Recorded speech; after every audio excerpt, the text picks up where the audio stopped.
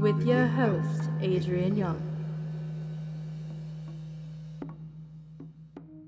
When I open my eyes every morning, I wake up in a false reality, a galactic dream where I'm the biggest star. This universe is active because I activate it with true intention. I activate it with the earnest belief that I'm the master of my own destiny. As a human being, the question is whether you wake up in a false reality or whether you stay sleeping on yourself. Again, the question is whether you wake up in a false reality or whether you stay sleeping on yourself. How do you know if you're woke? When you are living your dream because that's what life is about. Everyone dreams of being free, but for some reason, some people's search is akin to, to buying a daily lottery ticket. A short and unlikely journey with no obstacles and unrealistic goals. The synchronism found in dreaming and hard work is the key to freedom. Manumission in a day and age where we are deemed legally free, but living within the confines of a double consciousness. Living with the intersectionality of race versus self image in a place that wasn't made for us, and with music in an industry that wasn't economically made for us. But like the lottery ticket holder, we need to set unrealistic goals, but unrealistic goals that are founded upon a kinetic energy that can only be found within, a chi that emanates from self determination and struggle. This is called confidence. But confidence comes from failure, which actually comes from dreams where you believe you can accomplish the impossible, knowing the impossible is possible, or is it? Well, it is when you activate your life with true intention, when you wake up in a false reality that you created, one that you uniquely molded for yourself. This isn't arrogance, this is confidence in the realm of incantation or the use of your own magic in order to change your own destiny. You are a powder keg as long as you believe you can blow up. But how can you blow up if you don't see it?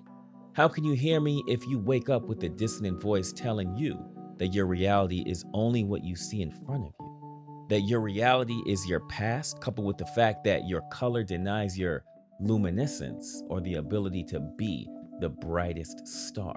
It's difficult, but feasibility is found when you realize that everyone has magic that you are the best version of yourself as long as you work on being the best version of yourself. You can actually trick yourself into waking up in a false reality by learning about others that have successfully transitioned to the other side. And now, I'm not talking about death, I'm talking about life.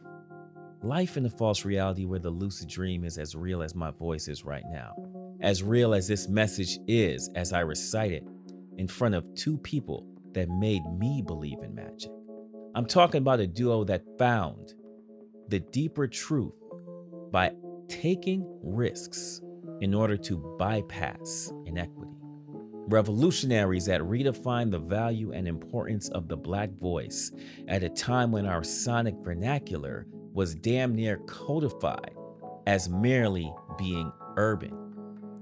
To many, their real gestation period is from 83 to, to 93, a time when they effectively cemented their range and signature in pop music. Nevertheless, within a span of four decades, they made sounding black sound perfect. We just got used to it. This journey commenced at a time where the black voice was rarely, rarely considered pop. A time during the first half of the 80s where only three black artists had number one albums Michael, Prince, and Lionel. From the SOS band to Cheryl's to Janet to Michael, New Edition, Usher, Mary J., we felt and witnessed from afar their innocent climb to stardom, their rise to black nobility, the string of number one hits and albums that changed the industry and posterity for the black artist. I'm talking about the icons, Jimmy Jam and Terry Lewis. It's flight time. Let's go. What's up, y'all? Thank you and good night. yeah, right. Can't do Can't no more. up- Can't do no more. Can't possibly live up to that. Man, it's an honor. It's an honor to speak with you fellas. It's an honor to have been raised by watching your dreams come true and making me believe that I can mm-hmm. actually be a star. Like you've you you two have changed so many people's lives. So many people that you've met and so many people that you'll never see. And we appreciate you both for all that you have done creatively, but also all you have done as far as making people see the light. So thank you very much. So- Thank you, Thank brother. you for. Oh. I, I felt like I was. in- I felt like I was in the twilight zone for a minute. Right? like, yeah. Uh, but but I have to tell you something. Like What's up, brother? where we are, where we are is was never my dream. Yeah. Talk to me. It was my passion. Mm. It was my passion. It was just I I I, love what I do and I love who I do it with. hmm And so the goals that we achieve were just based on loving the music, loving creating the music, loving the artists that we work with, and loving our people and wanting to provide them sometimes with what they needed more than what they wanted. Just Mm. an all a health we call it the healthy alternative. I totally know. get it. I totally get it. So so you know it was it, it was never about me personally. I'm speaking for myself. So Mhm. um it was it was it was never a dream that I'd be famous because I don't long for that. That's not I, I like the work more than I like any of the other parts of it. And Right. certainly you you love being celebrated and honored and it's always an honor, you know. Yes, but yes. that's not that's not but you don't do things in your passion to win awards. You do them because you love them. Absolutely. I always say that if somebody comes up to me and says, Yo, Adrian, I love your music, I'm thankful because they're being nice. But nothing makes me feel better than hearing that I inspired somebody's life, you know, and it's and it's through the passion. And and when I refer to you guys living your dreams, my thing is that especially in the era that you guys came up in. It is like a dream to create on that level. I'm not talking about the fame. The fame ain't like that's that's ancillary to all this. That's just a byproduct. To me, when I talk about the dream, is you two meeting in Minneapolis.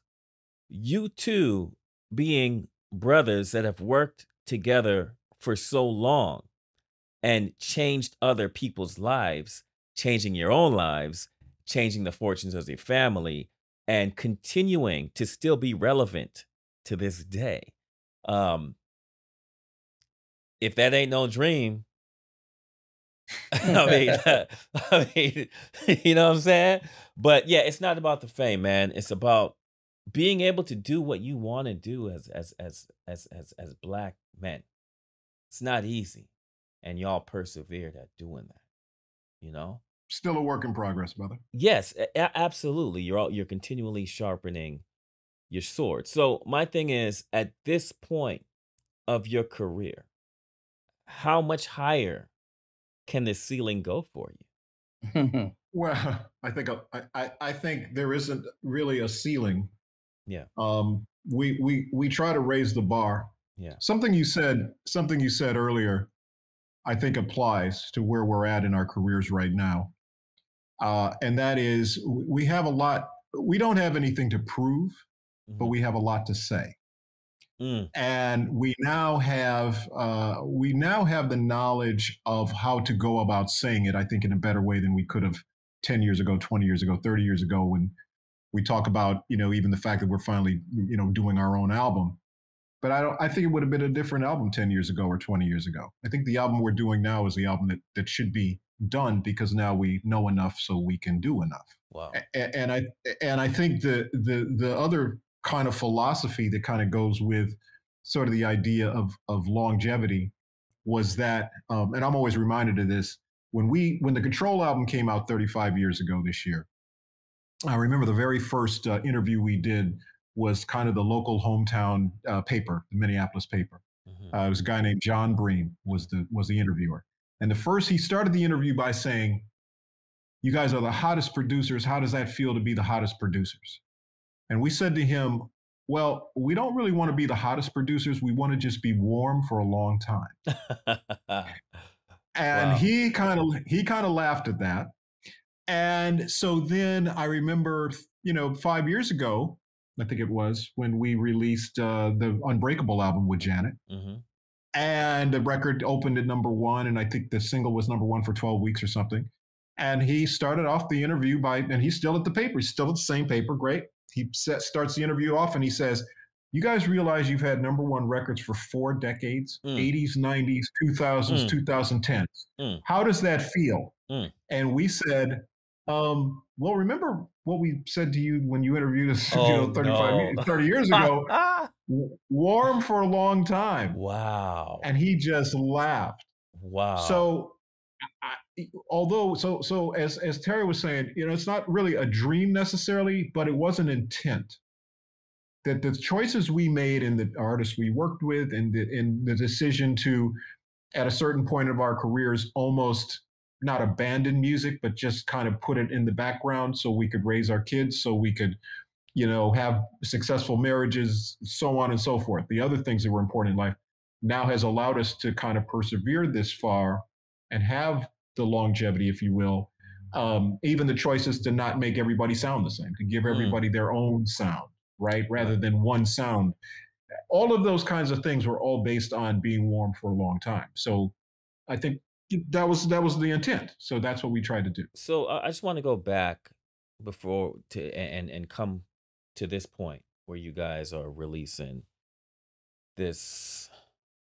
It's weird. It's like your your your group solo out. It's just so it's so it's so weird. Mm-hmm. It's not weird, not weird because it doesn't make sense. It's just that you guys have done so much in 40 years for so many people and you're finally now making your debut album in a way, which is but we'll yeah, album. Yeah, we'll, we'll get to that. I just want people to understand the journey a little bit. I want to let's go back to to around 82 when you guys came out to LA and did the happy you had the Happy Hopes track and I believe Clarence Avant heard that, right? If I'm not mistaken, he heard that and said I need it was is he the one that said that that was needed for SOS band?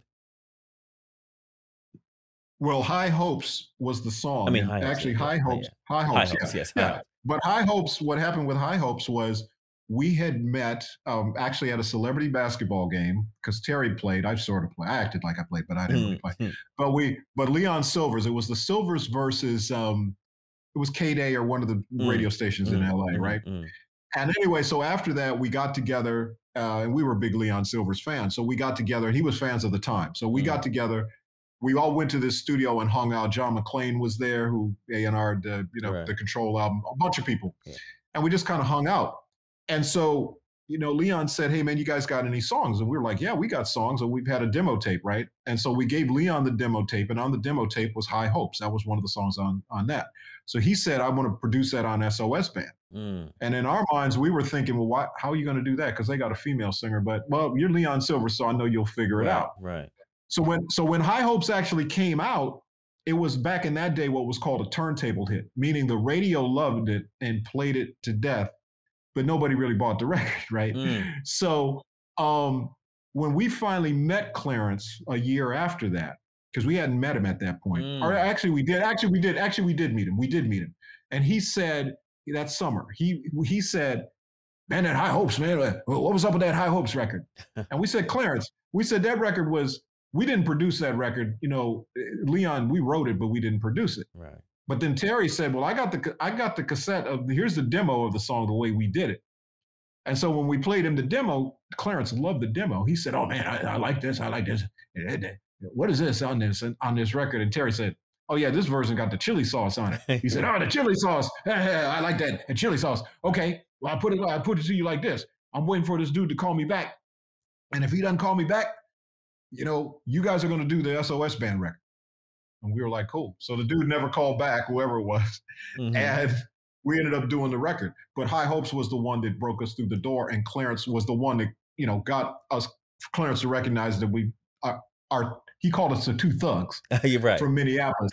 so he said, "You two thugs, you two thugs know what you're doing." Okay, so I'm going to put you in the studio. So that's, that's crazy. That that's crazy, and it's it's funny. I actually I, I have that song on 45 too, and when you listen to it, it's it's such an aha moment because you guys have such a signature uh in, in how you write. Um, something that I love about how you guys write is that you'll have these bare chords and then you do something that I call bringing in the sunlight. You'll wait for that moment to bring in that major seven, that minor seven, those little things that's just like, oh, damn, this feels so good. And it's a signature. You guys always, I always hear you kind of just start off with them drums, get the listener used to that.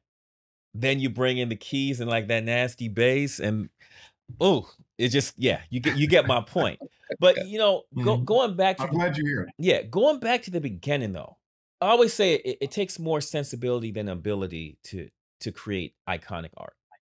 And sensibility is not only knowing what's dope, but what's dope in the moment. And when I think of something like Marvin Gaye's Sexual Healing, released in 82, it was it was a bounce back for him, you know, for his career, what he was going through with Motown and everything. Um, it wasn't just a good song, it was the time that it came out. And with you guys, you guys had something nascent. It was something different, something that something unique that was brand new. To me, that's why that track was a turntable hit.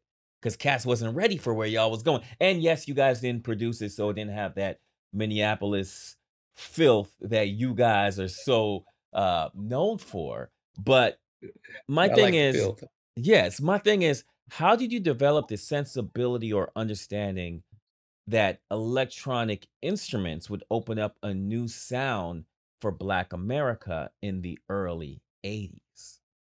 Oh, man, I think we were just dealing with the cards we were dealt. Like, we grew up in an era where technology was not a part of it. Right. Like, you, we grew up in an era that was very or was totally collaborative. Mm. If I wanted to re- if I wanted to record a song, I needed a drummer, mm-hmm. I needed a keyboard player, I needed mm-hmm. a guitarist, I needed a vocalist, mm-hmm. and I'm the bassist, and we are all going to go in the studio to, together and create this piece of music, mm-hmm. okay, or this body of work. Mm-hmm.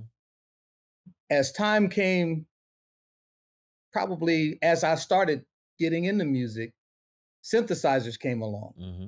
And they, and they started allowing us to emulate organs in the Farfisa organ, right. and then synthesizers would make sounds. I remember one of the guys uh, that we used to go watch gig. He had the synthesizer, and he just played noises on it. Wink, wink, wink, wink, wink, wink, wink, wink, wink. That was probably that the genesis of that kind of thing. Mm-hmm. And so we would hear that, and then you hear uh, Herbie Hancock doing all this right. electronica music, and you hear different things. So we got into a lot of different things just from that because it was not always available to us. So there was a, a degree of mystery about it. But we would never, we were always inspired by it. We were never afraid of it. So we would always embrace whatever came about. And then they made it happen where you could play drums. You didn't have to have a drummer anymore. Mm. Oh, so I could be the drummer.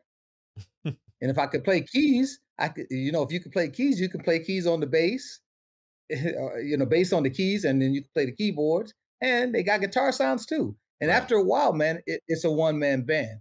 Right. But one thing that we we never became was a one man band. Right. It was always two of us with two different concepts and two different ideas. I am the guy that I love. I love the funk. I am the funk guy. Jam is the pretty guy. He loves mm. the the singing groups, the chords, the the major sevenths. That's his thing. Mm. He loves that. He he's gonna make you feel like ah yeah the so, sunlight. Uh, he's a sunlight. Yes, right, right. So uh, I want the rub. I want uh, I want it to be a little bit gritty. Right. And so as as songwriters in the beginning, it didn't work for us because we didn't know enough to figure out how to mer- merge those two things into a feeling. But as time went on and we became part of the time, it kind of we got to work together more and more and more and more. And one thing that Prince used to always say is choices. You start to understand how to make better choices, mm. when to, when not to.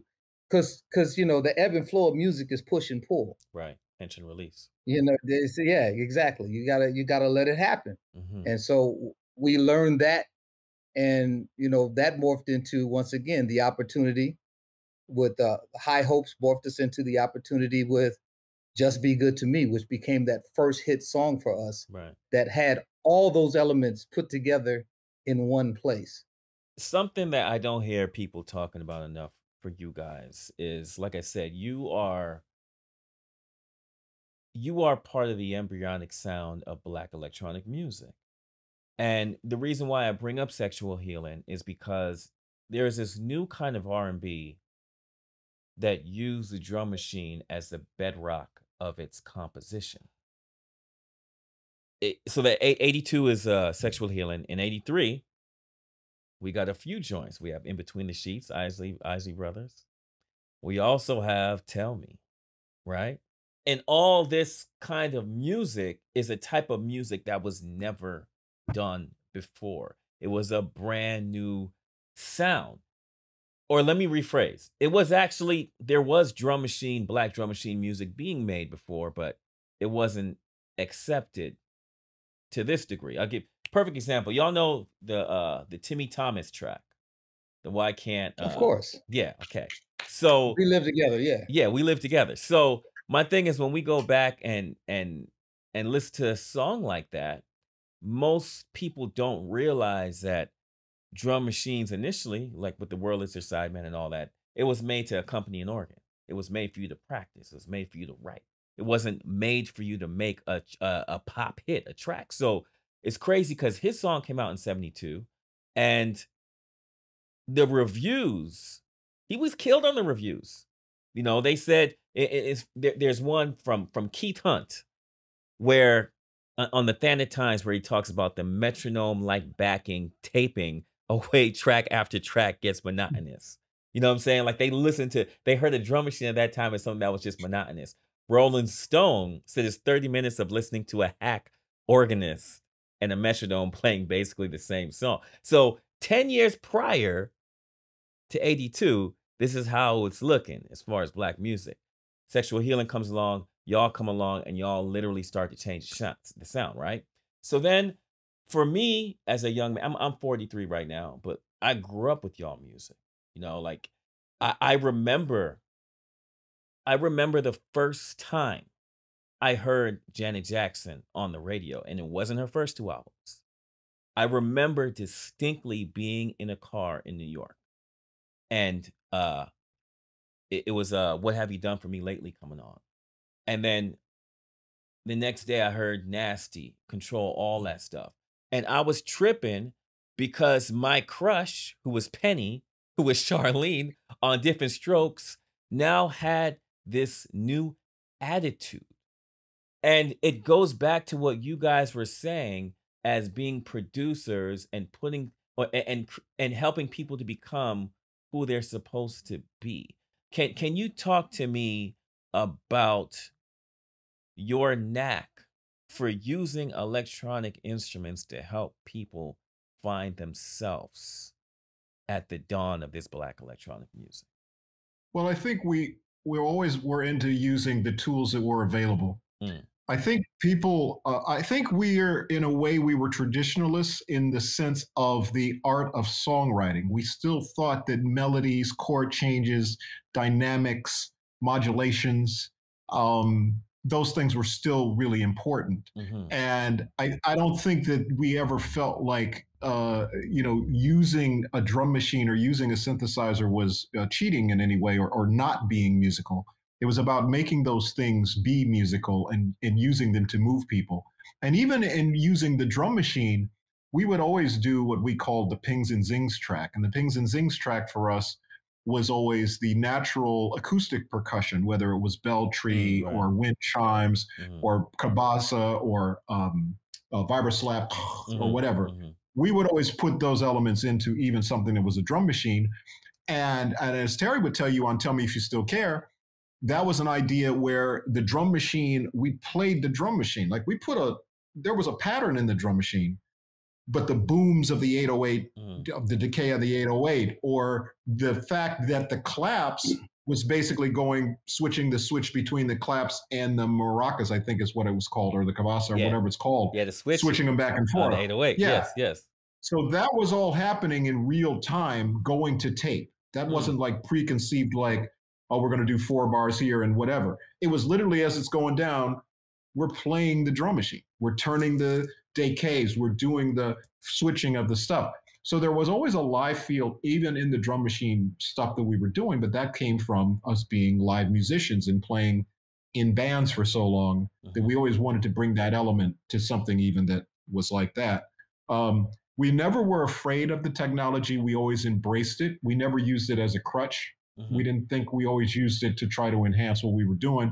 And I remember, like even back in the day when, like you know, this is a little little past that, but I remember when sampling came out, and everybody would ask us, "Man, what do you think about sampling?" And in their minds, they would always know what they anticipated we were going to say. Mm-hmm was that oh that's cheating and that's not real musicianship and whatever mm-hmm. and we'd say the exact opposite we'd go we love sampling mm-hmm. because what it does is it allows music to bridge generations Absolutely. where you hear an old song that you love attached to a new song as the foundation of a new song I said, what could that's better, you know? And then people would always go, well, Beethoven wouldn't something and something. They always go would go back to that, and we'd be mm-hmm. like, oh yes, he would, because back in that day, that's why you had harpsichords and celestes and all these different things because people were trying to take the instruments and make them sound different in some way. Absolutely. Um, so to me, it's just a toolbox that you have.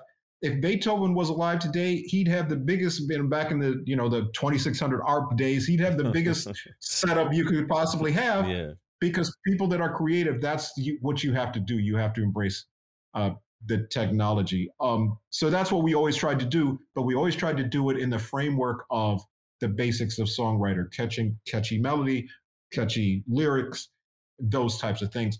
But do it through the artist's eyes. Do it through what they wanted to do. Because we always felt like for us, when the song's done, we're done with it. We leave it. Right. The artist is just beginning with it. So mm. it better say what they want to mm. say. And if it's a hit, if it's a hit record, they're going to be singing it the rest of their lives. Mm. So please, yeah. so let's not give them something mm. that they don't like. It's interesting because I always say that hip hop serves as a conduit to the past because, especially for Black culture, it's the bricolage of vinyl. You know, it's it's it's us putting all these sounds together to make something new and connecting us, like I said, with our with with, with what came before us. And for for mm. you guys, uh, there's a song "No One's Gonna Love You." that was sampled by you know ASAP Rocky. I mean, you guys have been sampled all over the place. I mean, think about Kendrick with uh, uh, Anytime, you know, all that stuff. So younger mm-hmm. generation, like, wait, where did that come from? Where did that come from? And this and that. But going back to you guys expanding the sound of black music outside of sampling, because y'all was sampling too. And I always say, as as a multi instrumentalist, as as a as a real purist myself, when cats sleep on sampling, they don't realize that sampling is just as much as an instrument as an instrument is, you know? And and you're working within the lim- limitation of the sampler, and it's not an easy thing to do. So, you know, with you guys, with the song No One's Gonna Love You, I love that song. And I remember when I heard that, I was like, yo, this sounds very familiar to I know y'all know what I'm thinking, to uh loose ends. Uh, oh, hanging on a string. Hanging on a string. And then, yeah, except no one's gonna love you came first. Exactly. Yeah. But the same. do, do, do, do, do. But that. But people yep. weren't using the 808 like that. And and and what's crazy with you guys, again, with changing the sound of of black music, you weren't only looking at the 808. It's funny. You guys is like kind of like Bowie when he would make new albums, a lot of times he would use new musicians because new musicians for him gave him a new sound. Um, like when he brought in Luther to sing on, you know. So with Cherrelle, y'all was using the the, the, the DMX, right? Mm-hmm. Uh, yep. Y'all was heavy Oberheim at that time, and then with SOS Band, you guys were 808. Now with Janet, you're going LinnDrums and y'all changing out sound, you know, sounds and everything just to create something new. you guys were using the Mirage also, if I'm not mistaken, and, and that has a sampler Right. on it. Right. Yes. Yep. Right, right, absolutely. Right. Mhm. But I, I I think my question for you as you know, as as a as a musician, how did you feel at that time using DX7 electric piano sounds versus just using Fender Rhodes? How did what, what how did it feel for you at that time? Did it feel new or did it feel like a cheat? Like what what was this the feeling for y'all? You know what I'm saying? Yeah.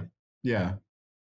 Um, well, keyboard wise, and and you know, you're correct in assessing that literally for each artist we did, we tried to bring in new sounds and new keyboards and new drum machines and that, so that everybody once again would have their same sound Yes. or, or have their own sound rather. Yeah. Um, you know, it's just, it's the same tailors sewing the thread, but the materials are different and the Right. lapels are different and the right so i mean the things that's what we tried to always do um but yeah i, I liked the dx7 because i liked anything that for me as a keyboard player the thing that always inspired me was if i heard a sound because i'm playing the chords that i kind of like that i know. Mhm, but when i hear those chords played with a sound that's different that's inspiring then to me that's always the inspiration. I used to tell i used to drive like keyboard magazine and places like that.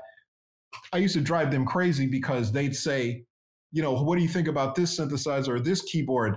And i'd go eh, that's okay. And they'd go yeah but when you get in and really start tweaking the sounds and i said i don't really want to tweak the sounds mm. um i just want to i you know what you pay people to come up with great presets on stuff so if I'm going through the presets and I don't hear stuff I like, that I'm out. It's like no. I mean, because you're paying people to do that. So it's like come up with some great presets. There might be a one preset, uh, the one I always think of. Sorry, not to get off track, but the one I always think of is there was a, a keyboard called an S3, Mhm, and it was called it was a company called General Music, right? mhm, it had probably two or three good sounds in it in the whole keyboard out of all of their hundreds and hundreds of sounds. Mhm. But one of those sounds was the on "That's the Way Love Goes," Janet. The Mm. what sounds like a guitar. Mm. Bing, bing, bing, bing. No, Mm. it's a keyboard. It's that keyboard. That was the one good Wow. sound that keyboard had, and I was like, okay, I'm going to use it for this, and so and I did. That's crazy. Yeah. I so always I mean, thought. I, I- I'm sorry to stop you, but I always thought Yeah. that that was uh the same sample that EPMD used. On No, it's- it's from a wow. keyboard. Damn, you blowing Yeah, my I know what you're mind, bro. about. You are blowing my mind. Yeah. I'm sorry. Um, well, you know, and that's by the way, I'll, and, crazy. by, and by the way, I'll just I'll just say this: whenever we played a lot of songs that you probably think are guitar or think are bass are keyboards, right. but Terry was always my um, like if I played a part on a guitar, Mhm. like um, uh, what's a what's a song that I can think of? Anytime, any place. Since Mhm. we mentioned it uh, earlier with Kendrick uh, and Drake, so um, there's no guitar on that song but it Mm, sounds like there is. It sounds like guitar on the song, but that's me playing it on a keyboard. But what Terry would always say to me, he would say to me, if I played something that had a guitar sound, he would say, Yeah, but a guitar player wouldn't play it like that. And I'd go, Oh, okay. So he always kept me honest, right? Like, even if we didn't bring a guitar player in, he'd be like, No, guitar player wouldn't play it like that, or a bass player wouldn't play it like that, or he wouldn't play it in that key, or that kind of thing. So, anytime, any place, was kind of uh, for us in my mind anyway a virtual band of people a guy playing a rhodes piano a guy playing a bass a guy playing a guitar so on and so forth and you try to go out of yourself and just try to think about how those musicians would all interact with each other so we did a lot of that a lot of that kind of thinking in, in putting tracks together So I'm a I'm a super analog dude. Like my entire studio is full analog. I, I record two inch sixteen track and mix down to to quarter inch um Ampex 350. I was tripping on the fact that y'all did control on an Otari 24 track Harrison console because I always look at the Otari as the Honda, right? I look at the Studers as like the Mercedes of the Beamers. I always saw the Otari as the Honda, but the Otari is such a good instrument. And it's crazy that y'all record at plus six as well. You know? So, but these are all the things that that is just so you and your sound. And also it's crazy that when y'all was recording this control album, you guys did that in Minneapolis. And it just kind of it, it it shows people that you can be at the top recording on your own terms. You know what I'm saying? Like, cause y'all just, you know, y'all what spent like six weeks with her, right? Chill with her for a little bit. Yeah. Record all, you know. Yeah. Mm, it's, it's, it's insane. Well, man. By the way, it's really funny too because when we did, I have to, and I have to give credit to uh, to to Cherrelle, and yeah. the reason I've given her credit is we had set up our own studio. And by the way, we now I'll go back. We discovered Otari machines because we had seen Studers and all the all the recording studios we had been in. It was Studer machines. It was SSL consoles, mm-hmm. um, or or Neve mm-hmm. in every studio. Occasionally API in some studios, but that's what was there, right? And um, we went over to Italy to do Change, to do the Change album. Oh wow! And the studio in Italy that we were at, it was actually in a villa in a house and uh, they had an Otari machine, and that was the first time we had seen an Otari machine. Mm. So when we were coming back to Minneapolis to set up our own studio, we got um, SSL boards were coming out of London, right? And they were hundreds of thousands of dollars. Uh, Harrisons were made in Nashville. So we're like, okay, how much mm. are these boards? And they're, I don't know, 30 grand, 50 grand, whatever. It's like, okay, so budget wise, okay, cool. Let's go with the Harrison, right? Yeah, yeah. Um, the Otari machines were, I don't know, 20 grand at the time as opposed to 100 grand for the Studers. So right. once again, it's like, okay, well, the Otari seems to work fine. Yeah. And interestingly enough, Otari was innovative enough that when later on, because of tape hiss, when Dolby SR came in, Dolby SR was actually in, integrated into the MTR 100 machines. Oh wow! and and they were self-calibrating machines right so you didn't have to have the tech guy come in and calibrate each track mm. you just would put the tape on whether it was scotch whether it was ampex whether it was agfa it was what we used back in the day you put the tape on you just hit play the machine would align itself do all the everything it needed to do and then you'd be ready to record and we also recorded a lot of that early stuff not control but a lot of the other stuff we recorded in at 15 ips rather than 30 wow. which gave us a much punchier bass. Wow. And and the plus six on the machine, when we recorded control, we engineered that ourselves. But but Cherrelle was kind of the guinea pig because we had an engineer walk out on us right before that. So yeah. Cherrelle, as we're doing, you know, Saturday Love and doing all those songs, we're like plugging in headphones and blowing stuff up and like you're trying because this is the patch bay days, right? right? Yeah. And and we're cra- we but we're learning on the job. We're just kind of doing it. So she was kind of the guinea pig for that, and she'd go, "That's all right, that's all right." So anyway, when we came in to do control, we recorded it ourselves. And one of the things Prince did, Prince always recorded whenever we were in the studio with him. He was always slamming the needles on the on the analog machine, right? Yeah. So we were like, okay, yeah, we're going to do that when we record. So when we started recording control, we're on our machine and we're blasting the needles and stuff. So Steve Hodge, we had come and mix the record. Terry said, I'm going to have Steve come and mix us. Steve comes to Minneapolis. He puts on the first song. He goes, who recorded this? and we did. We, we're all proud. We're yeah. like, oh, we did. Yeah, yeah, we did that. We did it. He said, uh, it's way too loud. And we said, oh, oh, that no, that's the way Prince records. You know, yeah. he he does everything so it's you know it's pinning into red. Right. And he said, yeah. He said, but Prince's machine is probably set up where zero means zero. Your machine is set up where zero means plus six, which means if you're pinning it. Yeah, you're. Right. And we were like, oh man. He's, we said, can can can you save it? And he yeah. said, no, no, no. It'll be it'll be fine. He said, but uh, I, I want to come up and teach you guys how to record you know, wow. and and so we ended up so we ended up hiring him. I think we did Human League after that. So we he did the Human League album. But anyway, that's kind of the story of all of those kind of things that you mentioned. It was all kind of trial by error, happy accidents, or whatever analogy you want to use. But the way you know, Prince's theory, by the way, was that when you record things loudly, um, your ears perceive the distortion as being loud, of being playing loud. Yeah. And he said, so he always want that little edge of distortion on mm-hmm, things. Mm-hmm. And when you listen to control, and all of a sudden, I remember when people would hear control and uh, they'd hear just the first uh, doom, yeah. the way the drum sounded. Right. That was because we put it way way too loud on the tape. but the Agfa tape was always really good. You could slam the heck out of it. Mm-hmm. It shed, it shed, which Yeah. wasn't good. Yeah. But but you could slam it, and that was part of our sound. And then of course Steve Hodge saving it was Right. the other piece of Well, it's that that that that pleasant harmonic distortion that you get at the top, and plus, I mean, it is compression when you're recording that hard in the red too, so it auto- automatically Yep. makes it louder anyway. So, um, Yep.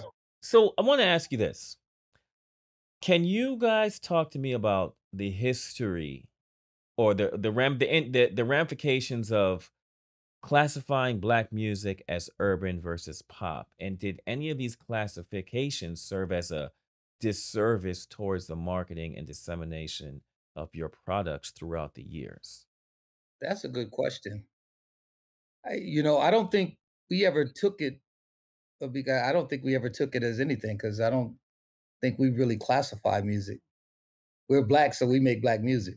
Uh, I mean, we know that. I'm talking about how they're because your music is classified by radio, by your label, and there's different budgets generally attached to this kind of stuff. So, right, right. But Yeah. but what I'm saying, what I'm saying is kind of stupid too. We're black, so we make black music. No, we just make music. Is my point?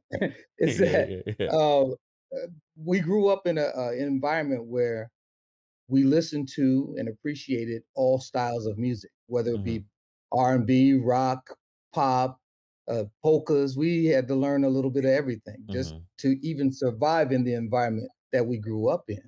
You know, you might be playing at a ski resort and somebody comes in and say, "Man, you know the beer belly polka." Well, you better know you better know how to strum it up. right, Or right, you right. do, you do do you know some country? Right. Yeah. No, yeah. We have to what key we gonna do this in? Let's hit it. Because we knew we know how to hit the progressions. We didn't necessarily know the songs. Mm, But it, all you had to do was kind of emulate the feeling of it. And it would make people, you know, after they drink a couple drinks here, we used to say the more you drink, the better we sound. Um, Mhm. you know, we, we could kind of get through it all. But that's part of why we're very eclectic in our music making. And so, number one, for me, I never allow anyone to classify what I do mm, because because if they do that in my mind, they will relegate me to whatever they want me to be. mm. And it's like it's like the word potential. When somebody said, "Man, you got potential," well, that's your take on my ability, but you have no idea what I can do and what I can't do. Mm. I I have to realize the best of me has nothing to do with what you think about the best of me, and, or where you think I will end up, or, or even where I think, because I'm always just trying to strive for excellence, no matter what it is. So that's just my take on it. So one thing that we've, uh, I guess, as Minneapolis guys, because Prince was the same way, we didn't allow people to define us or what our music was. We just make music, and those who accept it accept it. You know, I do, I do, I do think I will say, Adrian, though, I do think that um, as far as the acceptance of what we're doing, uh, what we were doing, I think that yes, if you in in the marketing side of things and the budgetary side of things, that the word black could have been looked at as confining as far as budgets. So putting the word urban attached to it took maybe some of the threat or the perceived threat away from it, if that's what you're asking. But Right. once again, that's more on the marketing side of things, which we weren't really all that concerned with. We were more concerned with, you know, making the best music we could, and then the, and let the labels and the marketing people figure out, you know, what you're going to call it. Um, you know, Janet was interesting because pop radio at that time, a lot of the, um, first of all, the the records that were crossing over back in that day Mhm. Were very soft. Like if you were Lionel Richie or you were Luther Vandross or you were, uh, you know, certain artists, the black artists that were looked at as non-threatening, Yeah. um, you could have it shot at, at crossing over. But what happened was it made pop radio very soft because then you started having, you know, the rock bands making ballads. And Mm. all of a sudden, if you listen to pop radio at that point in time, it was a very down tempo, right? When the rock bands were coming out with ballads Right. And the crossover music was ballads, it was like, wow. And Janet came along, because a lot of what you I think we've been talking about today is kind of the timing of the way things happen. Yeah. When Janet came out, it was at a point in time where pop radio was like, man, we got to get some tempo. what's happening over on the black charts? Mm. and what was happening on the black charts was, what have you done for me lately? And nasty. Uh, and and when I think of you, and you know, all of a sudden it was tempo, and it was you know, it was like, oh well, let, let's just play. We'll pick a couple records and play those, and we were the beneficiaries, I think, of that, of the timing Wow. of that. That's that's interesting because you bring up Luther Vandross. So Luther didn't have a number one quote pop hit until Dance with My Father, right? Yep. All this time Mhm. he was always searching for that. And then if we go back early 80s and 81, 82, there's only four songs by black artists that reached number one. So Right. you know, when we talk about crossover, the it's kind of like defining well, what does the middle mean? The middle don't mean what black music you like. It it means what this industry says is in the middle. In in a mm-hmm. weird way, it's means winning when you're not supposed to because breakthrough albums broke past the ceiling, I guess. You know, I, I mean that's just always my perspective, you know, when I'm when I'm listening to all this uh when I'm when I'm listening to music, when I'm analyzing music and reminding people that yo, you know Stevie Wonder is pop music, right? You you know that you know what I'm saying? You know that Janet Jackson pop. music. Anyway, you know, I I, I digress. well, But I, but but I, but I'll, I'll tell you something. Sorry, to you. But I'll just say one thing about that. Yeah. When we made the Control album, the album we were making was we we lived in a neighborhood in in L.A. We were back in Minneapolis recording at that point in time, but we had just lived in a neighborhood in L.A.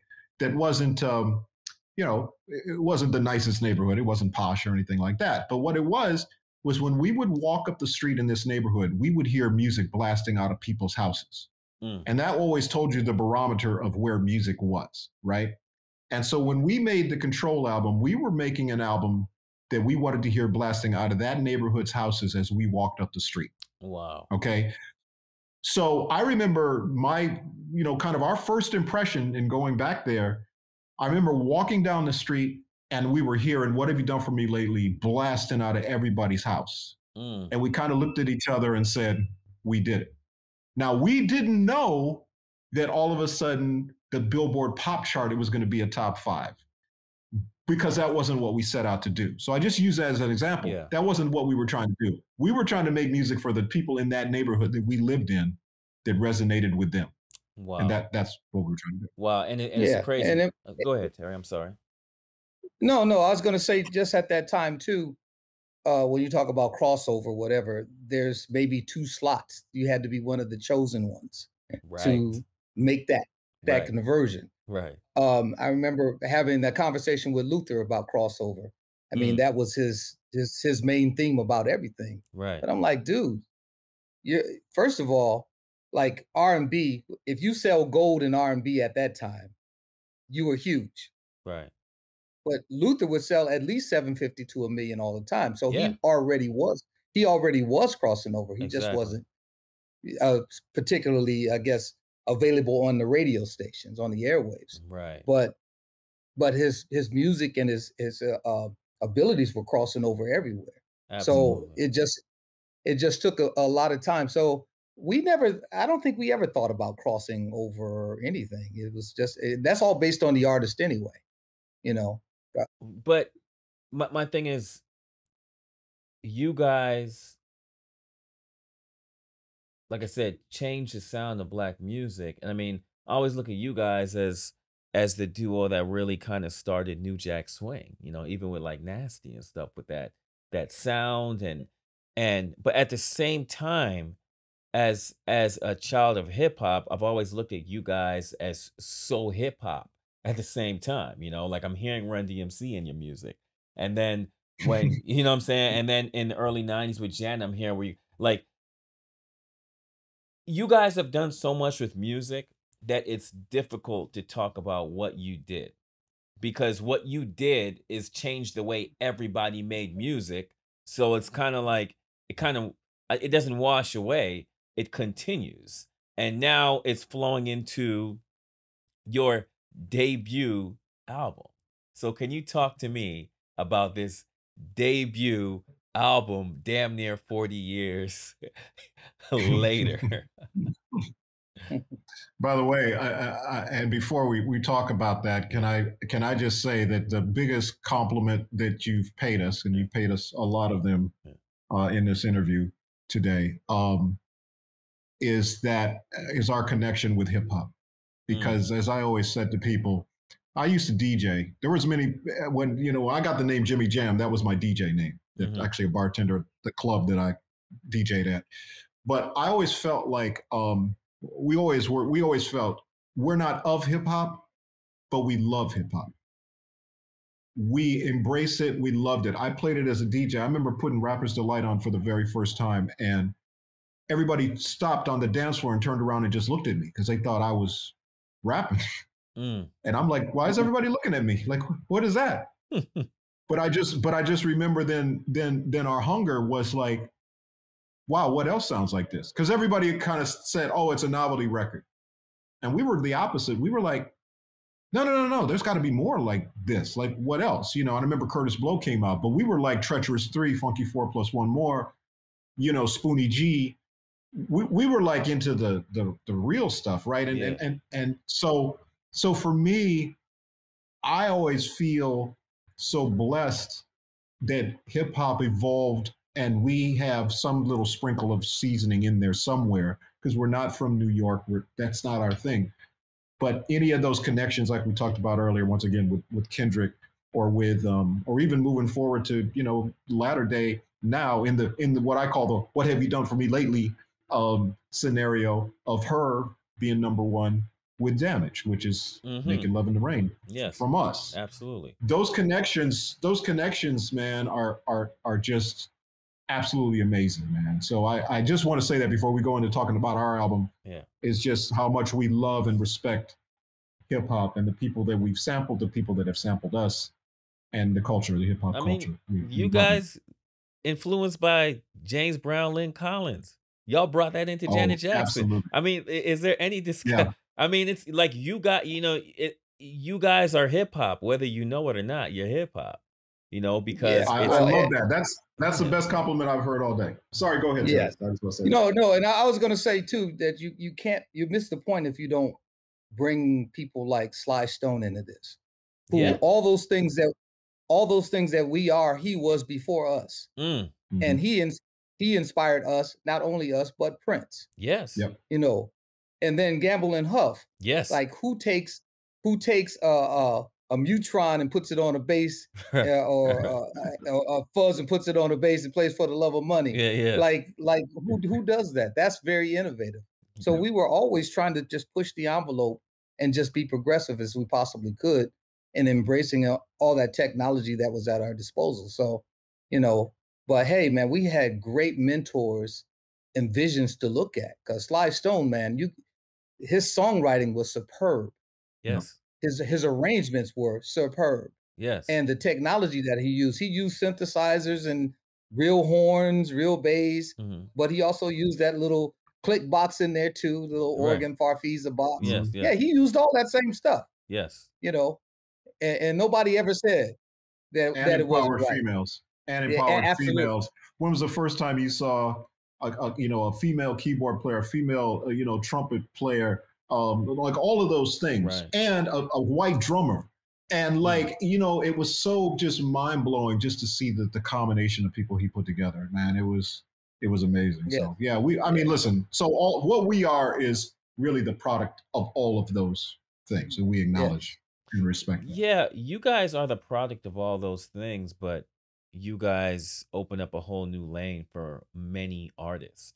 There is there is no Janet Jackson if it wasn't for y'all. And I, I mean, not you know she was making good music before y'all, but what you guys did was make Janet Jackson hip hop in a way that was musically a bit more sophisticated, right? And I don't mean that in a condescending way at all. You know, I mean, no, no, I, I, we, we don't take it as a condescending thing at all. But the thing, but the thing I would say is the first two albums that Janet did, um, what she was missing to me on those albums was that attitude. Like when you thought about her mm-hmm. as you know, good the good times days when she was acting or on the variety shows with her brother, it was always this feisty attitude that Right. she had. And then when she made the records, which by the way, the the records she made, the first two albums were really at her dad's insistence Right. um, that she sang. Right. She worked with Renee and Angela, and she worked with Leon Sylvers, Right. and she worked with Giorgio Moroder. These are all top top course. producers. Yes. Yes. yes. But she also but she also worked with Jesse Johnson. And Jesse Johnson got that little bit of attitude that we Mhm. were looking for, right? When he did Fast Girls and that other stuff. And that was when we did Control. We asked her what she wanted to talk about. Or we didn't ask her, we just had conversations with her. Yeah. And then we basically empowered her because when we showed her the lyrics that we had started on Control, she looked at the lyrics and said, Oh, wait, this is what we've been talking about. And we said, Yeah. And she said, So whatever we talk about, that's what we're going to write about? Yeah. And then she said, Oh, well, I want to write about this. I want to write about. It was like the light bulb went on. So our smartest thing has always been, I will say, is we've always involved females in what we do um, and listened to them and empowered them to do what they do. And that to me has been one of the keys to us doing. And we've allowed them to inspire us in the writing. Because if Janet doesn't have that feisty attitude and that kind of, you know, with Nasty, when we did Nasty, you mentioned Nasty, New Jack Swing. When we did Nasty, when she went in and started singing it, she was like, sitting in the movie show. I'm like, no, no, no, no, no. Sing it like, you know, the other day when you were singing when you had a cold and you were like, said, and in the uh, movie. I said, sing it like that. And she was like, really? And it's like, yeah. And when she trusted us and she sang it like that and you see the results. So it's a, it's a lot that goes into it, but it's really the people that we, that they make us look good, man. Well- it's not us. It's the people well, that make us look good. She trusted y'all because, like, you guys are black excellence. I mean, you guys are the the Gamble and Huff of the last forty years. You know, I mean, you've changed your sound, and y'all still making hits. I mean, I I, I listened to the last two singles that y'all got um, on this upcoming album, and I'm just tripping that you guys, you guys have this longevity. Y'all hot. Y'all ain't warm. Y'all try to stay warm, but y'all hot though. You know what I'm saying? I mean, and and and, and I hear as a producer, I hear the music behind the music and I hear what you're telling the artist to do. Or let me rephrase.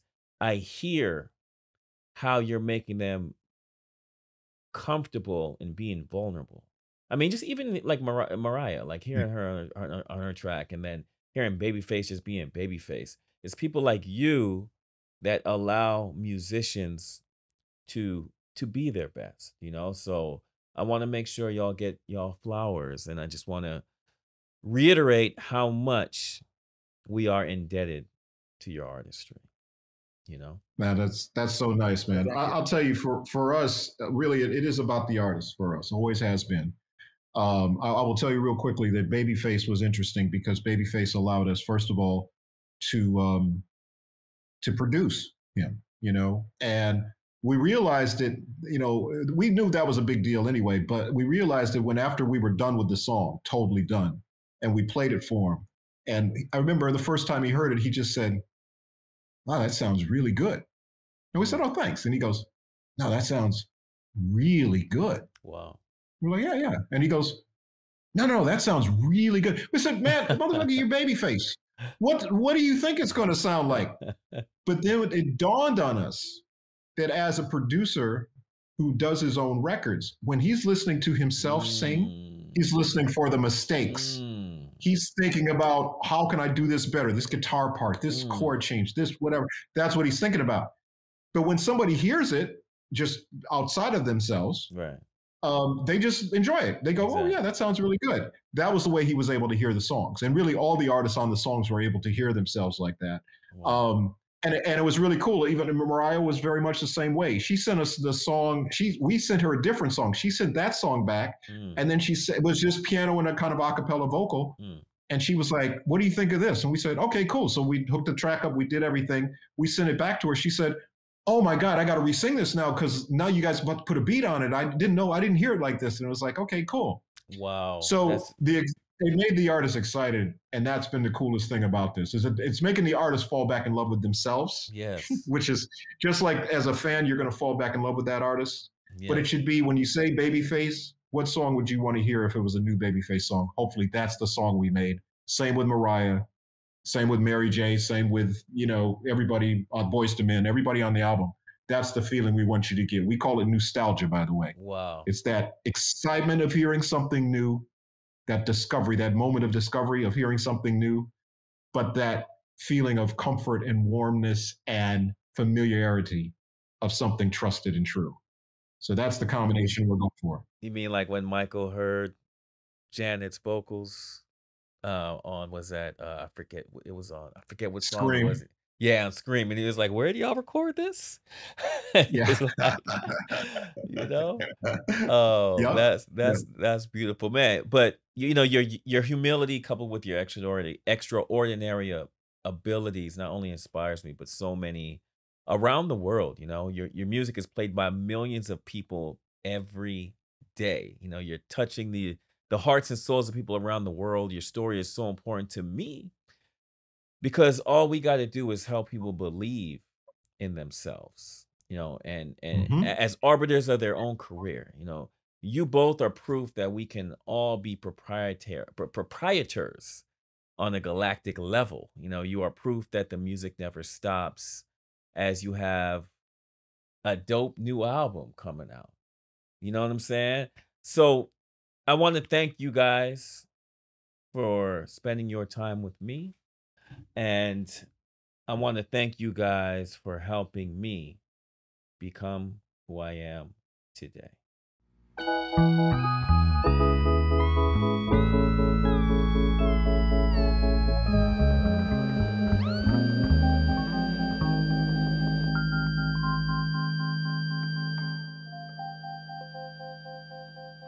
Hey, this is Jimmy Jam, And Terry Lewis, and you're listening to Invisible Blackness.